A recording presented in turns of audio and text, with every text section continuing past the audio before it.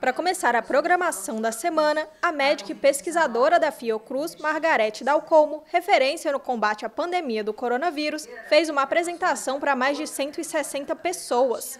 Ela falou sobre os principais aprendizados e desafios da Covid-19 e frisou a necessidade da distribuição igualitária de vacinas pelo mundo e a importância de se investir na segunda geração de imunizantes contra a doença.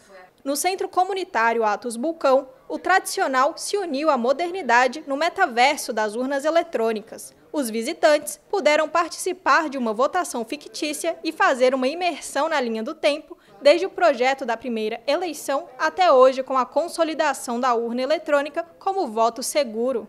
Na parte da tarde, o CNPq premiou 12 alunos de iniciação científica.